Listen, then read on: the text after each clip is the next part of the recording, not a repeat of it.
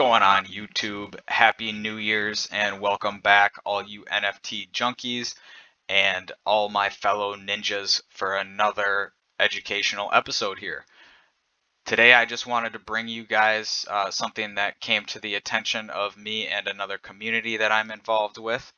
So I did a YouTube video a while back on a rug pull of the Mutant Human Club right here, this one and I just noticed something that you know seemed kind of sketchy and kind of familiar to me. So I did a little research, uh, me and the community that I'm involved with, and some interesting findings that we came up with. So first off, again, you know, if you don't know, Mutant Humans Club kind of, you know, got rug pulled and the owners, the founders, the creators, um, kind of just disappeared off the face of the earth. Now, what we have going on here now is, uh, you know, something a little similar. So, as you can see here, this is, you know, their webpage, Mutant Human Clubs, and just wanted to, you know, look at a new project here that looks very, very similar. Uh, same kind of web page layout here. Um, and as you can see, there's really no information on the project other than, uh, you know, Josh Isaac is the artist, okay? Isaac D. That's going to come in here in just a second, I'll show you. Um, but again, you know, looks real similar to Mutant Human Club, so that's kind of what uh, caught my attention at first when I saw this thing on uh, Instagram and you know that's that's what they're going to do. They're going to use instagram and twitter to kind of get the attention of the newcomers to the nft space. So this is you know kind of a warning for everybody and everyone looking into the NF space, nft space already involved in the space here. Um, you know check this out. Let me know what you guys think. But here i'm just going to show you the CEO, co-founder of R&M Agency right here. CEO at R&M Agency. And then another person here, CEO at R&M Agency, right here working together. Congrats. Best partners. And you'll go into R&M International LLC on Upwork and you can see it's based out of United Arab Emirates and you can see, you know, the people that they've worked in in the past, the rankings that they gave. Uh, this one here is uh, Ken. He was the artist for Mutant Human Clubs. Obviously gave them a very poor rating because, you know, pretty poor outcome, pretty poor management of the entire project. Go down to other jobs in progress here. Right here, job in progress from, who do you think? Isaac D and out of Dubai. Look at that. Kind of sketchy, in my opinion. Not financial advice, but just bringing this to you here. So, yep, Isaac D.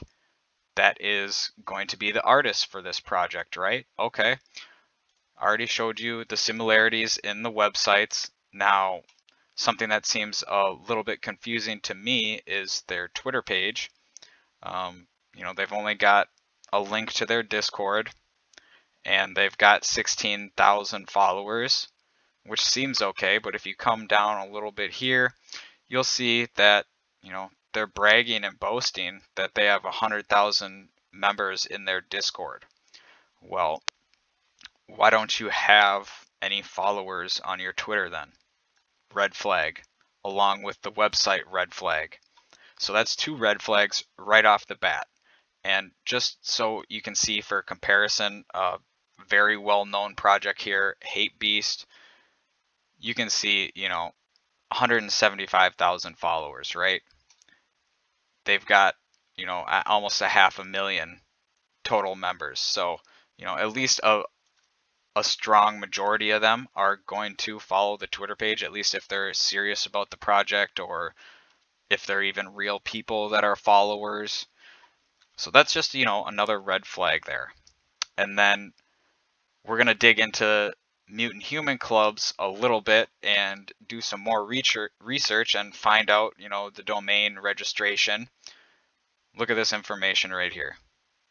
Can't pronounce that stuff, but um, that's the street, that's the city and the state with the phone number there and can go to Lord Society and you can see it's the same information here. So the same people that maybe created the domain for Mutant Human Clubs, also creating the domain for Lord Society. And boy, does that make sense with, you know, what their web pages look like here. So, you know, another red flag.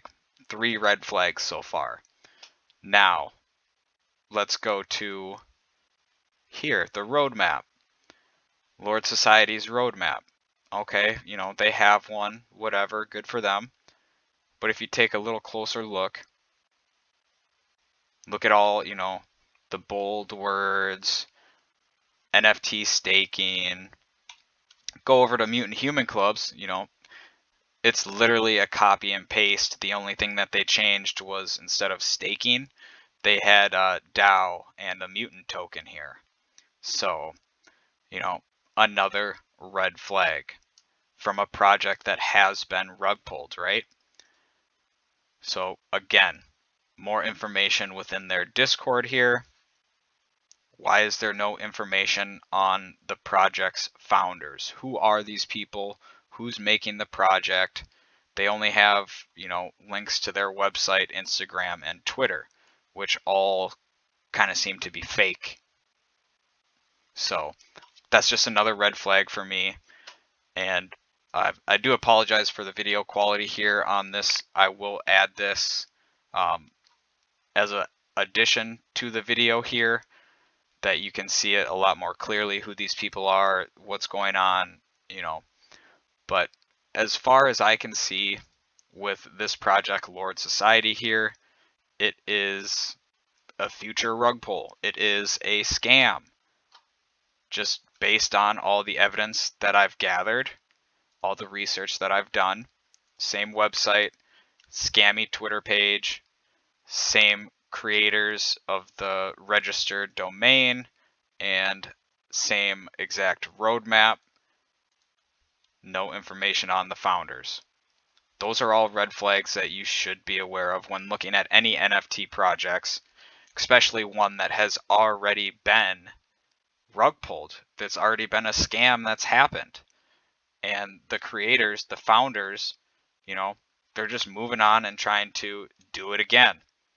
So I'm just creating this as a warning for anybody new to the NFT space or anybody that's been involved with it for a while now.